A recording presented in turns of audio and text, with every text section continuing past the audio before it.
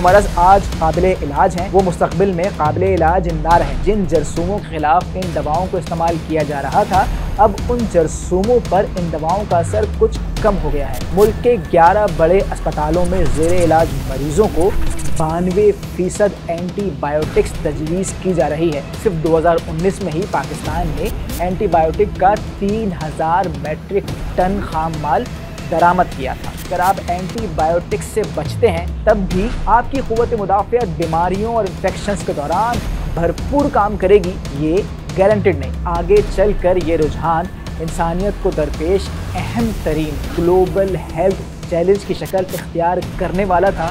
फ़र्ज़ कीजिए आपकी खुदा न खास्ता किसी से लड़ाई हो जाती है और आप अपने साथियों के साथ मौजूद होते हैं और आप अपने साथियों के साथ मिलकर सामने वाले की खूब धुलाई करते हैं। और वो शख्स पसपा होकर चला जाता है। कुछ दिनों बाद आमना सामना हुआ तो वो शख्स भी लड़ाई के लिए अपने साथ कुछ लोग लेकर आता है। लेकिन इस मरतबा आपके और आपके साथियों के पास डंडे थे और आप लोगों ने डंडों से मार पीट के उन्हें फिर भगा दिया। अगली मरतबा आमना सामना हुआ तो वो अपने साथ डंडे लेकर आए। लेकिन इस मरतबा आपके पास आछी हथियार थे और इस मरतबा फिर उन्हें भागना ही पड़ा। और जब वो आची हथियार लेकर आए तो आप तोप लिए बैठे थे और इस मरतबा भी उन्हें पीछे हटना ही पड़ा। लेकिन आखिर कब तक? आखिर कब तक आप बड़े से बड़ा हथियार लाते रहेंगे और वो पीछे हटते रहेंगे? एक ना एक दिन तो वो आप ही की तरह बड़े से बड़ा हथियार लेकर आ जाएँगे। तो उस दिन आप क्या करेंगे? और ये जो आप हथियार लेकर आ रहे हैं, इसकी एक कीमत है, जो ना सिर्फ़ आपकी जेब पर भारी है, बल्कि इसकी कीमत आप अपनी सेहत से भी अदा कर रहे हैं। भाई, लाने ले जाने में जहनी जिसमानी तोानाई तो खर्च होती ही है ना। क्या ही अच्छा नहीं था कि आप इस लड़ाई को शुरू होने से पहले ही ख़त्म कर देते? तो नौबत तोप तलवार तक पहुँचती ही नहीं। अब आप सोच रहे होंगे कि मैं ये क्या तोप तलवार, बंदूक, डंडे वगैरह का किस्सा लेके बैठ गया हूँ? तो भाई, सब्र रखिए और जान लीजिए कि ये कोई बिला वजह की बात नहीं, बल्कि ये कहानी हम रोज़ जीते हैं। और रोज़ कोई ना कोई इस कहानी की वजह से अपनी सेहत गंवा देता है।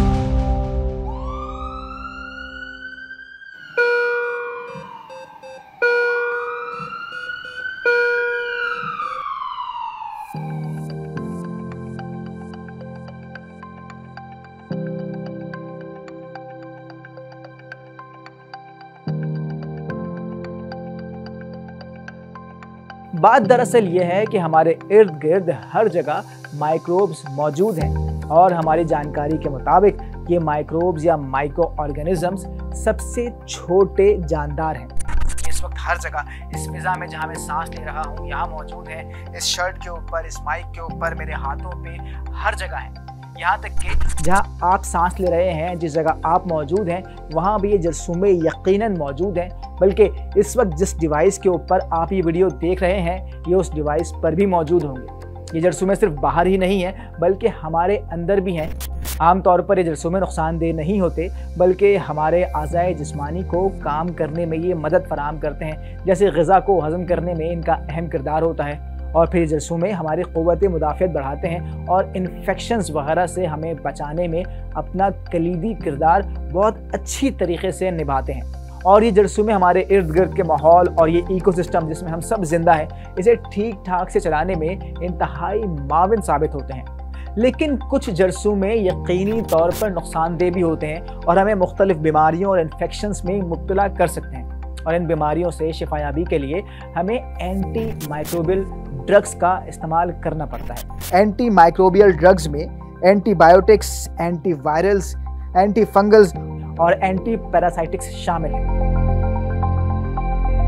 बाज़ात ये एंटी माइक्रोबियल ड्रग्स मोहल्ले की लड़ाई में तोप तलवार का काम करती हैं। यानी कि जहाँ बात आम सी एक छोटी सी पैरास्टामॉल से हल हो सकती थी।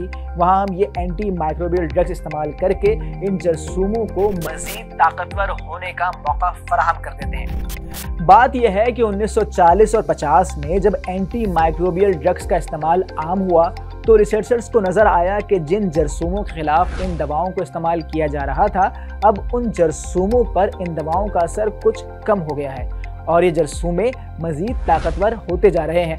उस वक्त रिसर्चर्स को समझ नहीं आया कि ये फिनोमिन क्यों है, लेकिन आगे चल कर ये रुझान इंसानियत को दरपेश अहम तरीन ग्लोबल हेल्थ चैलेंज की शक्ल इख्तियार करने वाला था और इस तमाम फिनोमिन को एंटी माइक्रोबियल रेजिस्टेंस या ए का नाम दिया गया। ए में जरसूमे एंटी माइक्रोबियल ड्रग्स के खिलाफ मजामत पैदा कर लेते हैं। फिर चाहे वो जिनियाती तब्दीली से हो या फिर इलाज के दौरान कुछ जरसूमों के बच जाने से। बहरहाल, किसी भी तरह ये जरसूमे ताकतवर हो जाते हैं और मुस्तबिल में इन पर दवाओं का असर नहीं होता और इनका इलाज मुश्किल से मुश्किल तर हो जाता है। हम ऐसा भी कह सकते हैं कि जो मरज़ आज काबिल इलाज हैं, वो मुस्तबिल में काबिल इलाज ना रहें, क्योंकि जरसूमें ताकतवर हो चुके होंगे और दवाएँ उन पर अपना असर खो चुकी होंगी। ये यकीनन, नहायत ख़तरनाक सूरत हाल होगी।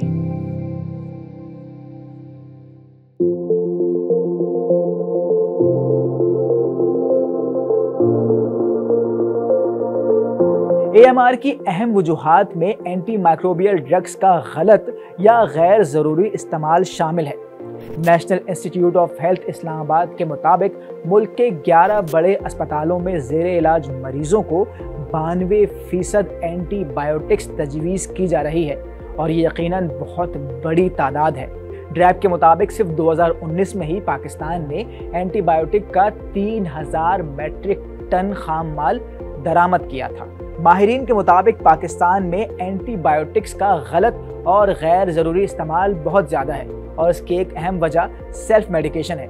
यानी हमारे लोग खुद ही फार्मेसी पर जाते हैं और ख़ुद से ही कोई दवा ख़रीद कर उसे इस्तेमाल करना शुरू कर देते हैं। एंटीबायोटिक्स के इस्तेमाल का तरीका यह है कि इसे ख़ास मकदार में ख़ास मुद्दत तक इस्तेमाल करना होता है, जिसे आम अल्फाज में कोर्स कहा जाता है। और हमारे यहाँ बीमारी से राहत मिलते ही कोर्स अधूरा छोड़ देना आम बात है। पाँच दिन के एंटीबायोटिक्स के कोर्स को जब दूसरे या तीसरे दिन छोड़ दिया जाता है तो इससे जरासीम पूरी तरह ख़त्म नहीं होते और मुस्तबिल के लिए मज़ीद ताकत इकट्ठी करने के काबिल हो जाते हैं, जिससे एंटी माइक्रोबियल रेजिस्टेंस जन्म लेती है।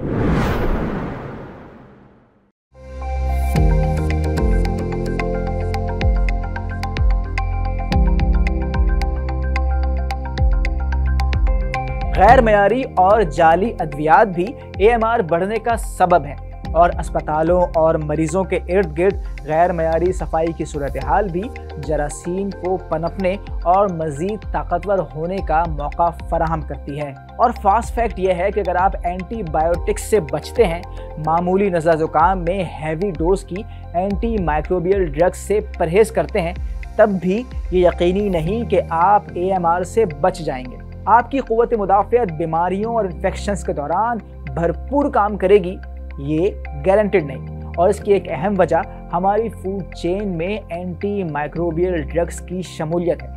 यानी मुर्गी, गाय, बकरी और इन जहे जानवर जिनका हम गोश्त खाते हैं और दूध पीते हैं, इन्हें मुख्तलिफ़ वजूहत की बिना पर एंटी माइक्रोबियल ड्रग्स दी जाती है और इससे भी ए एम आर होने का ख़तरा रहता है। ऐसे अफराद जिनमें क़वत मुदाफ़त कम है, जैसे बच्चे और बुज़ुर्ग वगैरह, या फिर बीमार अफराद, खासकर कैंसर और एचआईवी के मरीज़, उनमें ए होने का ख़तरा ज़्यादा रहता है। अस्पतालों में दाखिल मरीज़, उनके तीमारदार और वहाँ काम करने वाले अफराद जैसे डॉक्टर्स, पैरामेडिक्स और दीगर अमला, वो भी ए में मुबतला हो सकते हैं, क्योंकि इन्फेक्शन ज़दा अफराद की मौजूदगी के सबब सेहतमंद अफराद भी इसका शिकार बन सकते हैं। अब सवाल यह है कि हम ए से बच कैसे सकते हैं? तो इसका आसान तरीन जवाब यह है कि हमें एंटी माइक्रोबियल ड्रग्स का इस्तेमाल कम से कम करना होगा और सेल्फ मेडिकेशन से तो बिल्कुल ही परहेज़ करना होगा। और किसी डॉक्टर के मशवरे पर ही सिर्फ़ एंटी माइक्रोबियल ड्रग्स लेनी होगी और उसका कोर्स भी मुकम्मल करना होगा, ताकि जरासीम मुकम्मल तौर पर ख़त्म हो सकें और उन्हें म्यूटेशन का कम से कम मौका मिले। और अच्छा तो यह है कि हम इन्फेक्शन को होने से पहले ही ख़त्म कर दें।